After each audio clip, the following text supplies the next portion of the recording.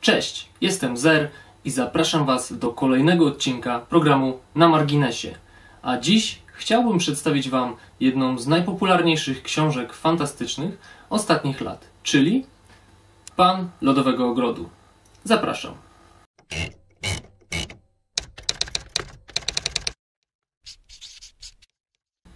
Autorem omawianej dziś przeze mnie książki jest laureat licznych nagród, polski pisarz fantastyki Jarosław Grzędowicz. Cóż można o nim powiedzieć? W 1982 roku zadebiutował opowiadaniem pod tytułem Azyl dla starych pilotów. Już dwa lata później został współtwórcą magazynu literackiego Phoenix, a od roku 1993 do 2001 był także jego redaktorem naczelnym. Obecnie Grzędowicz zajmuje się tłumaczeniem komiksów oraz dziennikarstwem, ale przede wszystkim jest pisarzem. Na swoim koncie ma takie książki jak Wypychacz zwierząt, Księga jesiennych demonów, czy wreszcie Pan Lodowego Ogrodu. Jest autorem również licznych felietonów oraz opowiadań. No i trzeba o tym wspomnieć, bo wszędzie o tym mówią. Jarosław Grzędowicz jest mężem Mai Lidii Kosakowskiej, równie popularnej autorki na polskim rynku, która jest laureatką wielu nagród literackich. W zeszłym roku Mailda Kosakowska zdobyła nagrodę Janusza Zajdla za swoją książkę pod tytułem Grill Bar Galaktyka, której wideo recenzję możecie obejrzeć na naszym kanale. Miałem okazję poznać Jarosława Grzędowicza przy okazji spotkania autorskiego w Gdańsku. Na temat tego wydarzenia zdarzyło mi się nawet popełnić y, relację, z którą możecie się zapoznać na moim blogu. Natomiast pomijając już y, opinię mm, na temat całej organizacji tego spotkania, myślę, że Jarosław Grzędowicz jest bardzo sympatycznym oraz elokwentnym człowiekiem, który szczyci się także dość dobrym poczuciem humoru. Cieszę się bardzo z możliwości posłuchania go na żywo. Cóż to jest Pan Lodowego Ogrodu? Chyba niewiele osób zadaje sobie dzisiaj to pytanie. Pan Lodowego Ogrodu to tytuł powieści napisanej przez Grzędowicza, która to z tomu jednego rozrosła się autorowi aż do czterech. Pierwszy tom został wydany przez Fabrykę Słów w roku 2005, natomiast ostatni, czwarty, został wydany w listopadzie 2012.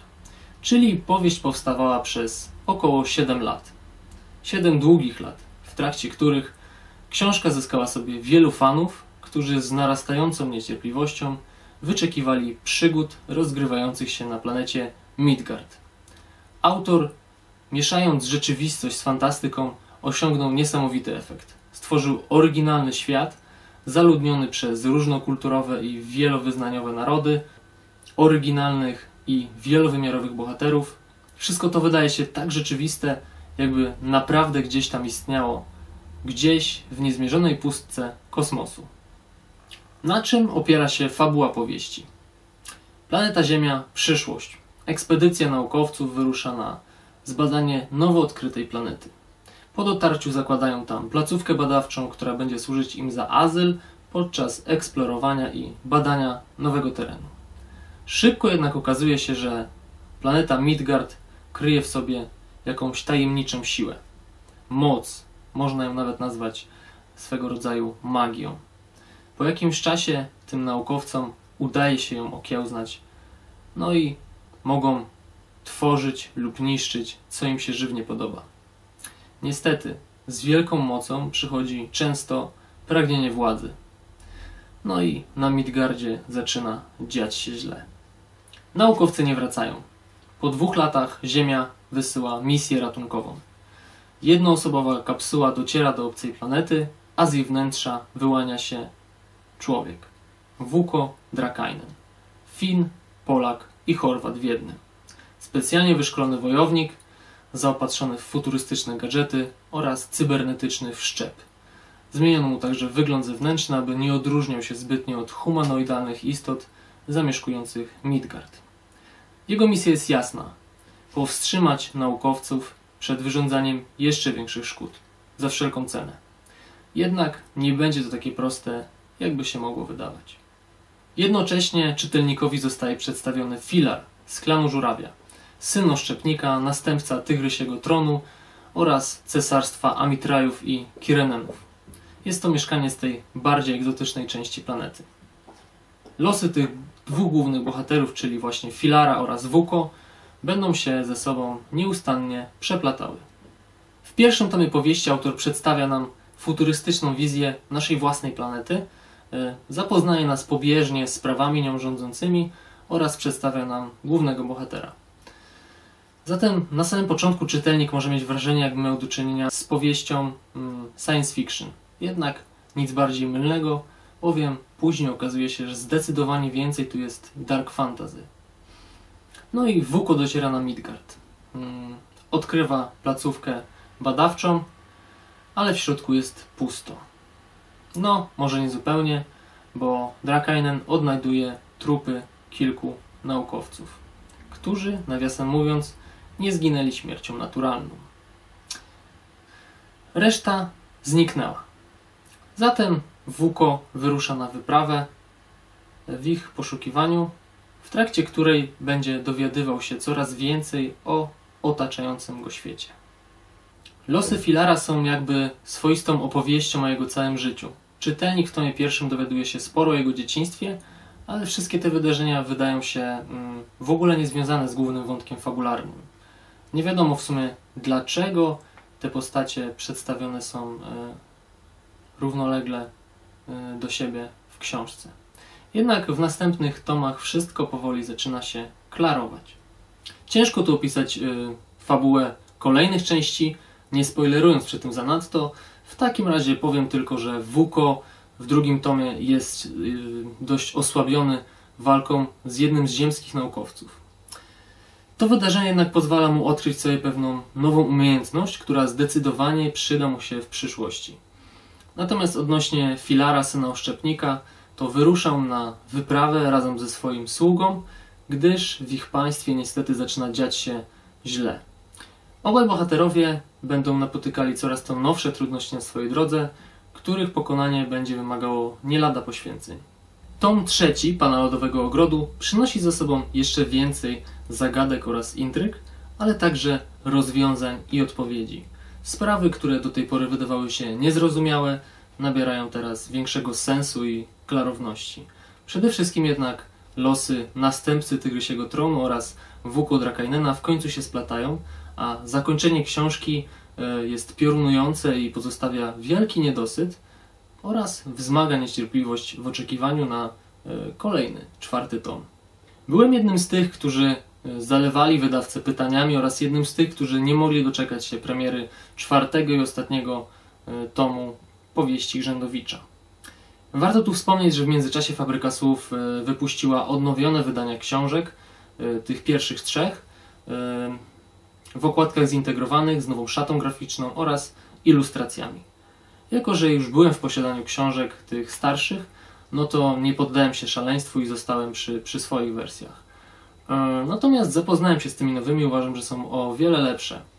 Mm, mam tu na myśli głównie właśnie okładki wykonane przez Piotra Cieślińskiego oraz e, ilustracje Dominika Brońka. Mm, uważam, że są fenomenalne i naprawdę e, oddają cały klimat powieści. Fabryka Słów zrobiła wszystko z głową, bowiem czwarty, ostatni tom został wydany właśnie w nowym designie oraz w tym starszym. Czyli każdy mógł zakupić taką wersję, jaka pasowała mu na półkę. Tak więc w końcu po długim oczekiwaniu pojawiła się czwarta część Pana Lodowego Ogrodu. I tu niemałe zaskoczenie, bowiem w porównaniu do poprzednich części ta czwarta jest gigantem. Tomy od 1 do 3 miały kolejno y, 545, 656 i 512 stron, natomiast ostatni tom ma ich aż 880. Robi wrażenie. Czego można się spodziewać po zakończeniu cyklu? Na pewno jest akcja, jest sporo akcji, natomiast są również niestety i przydługawe przestoje. Na przykład wtedy, kiedy opisane jest, gdy filar trafił do lodowego ogrodu, co przecież miało miejsce jeszcze ym, trochę wcześniej. Grzędowicz jeszcze bardziej komplikuje niektóre sprawy, jednak yy, sukcesywnie zabrał się za rozwiązywanie większości zagadek. W książce mamy sporo bitew, czy to morskich, czy lądowych oraz y, także tajnych misji.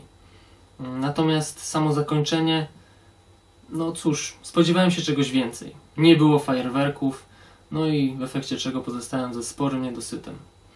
Nawet słownik przygotowany przez Grzędowicza, który mieści się na tyłach książki, opisujący różne zwroty i słowa w językach Midgardu, jakoś nie poprawił mi nastroju.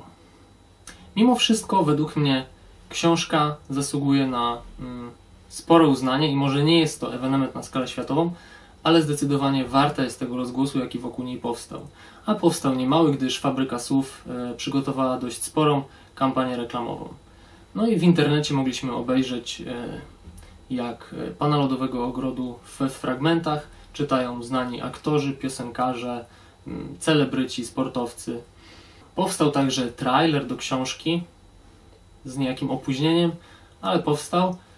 Ukazał się także utwór muzyczny wykonany przez nowo powstały zespół Midgard.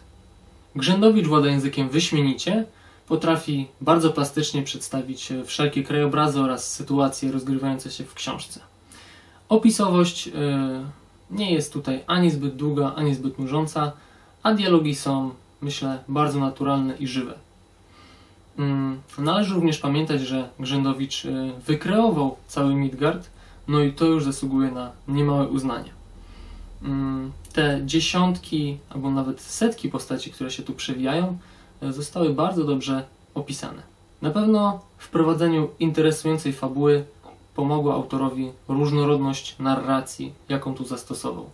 No i do tego wszystkiego dodaje e, jeszcze nieco smaku ironiczny i nieco czarny humor głównego bohatera, czyli Drakainena.